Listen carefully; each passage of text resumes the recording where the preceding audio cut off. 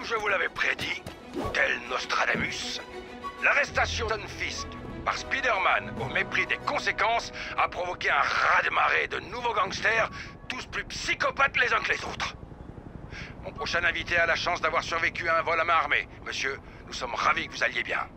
Merci, c'était... Et ouf, ces types rentrent comme si c'était chez eux en brandissant leurs flingues. Qu'un honnête homme doive gagner sa vie la peur au ventre est inacceptable. Ouais, heureusement que Spider-Man est intervenu pour les neutraliser. Vous n'avez rien écouté ou quoi? C'est lui la cause du problème ah Excusez-moi d'avoir élevé la voix.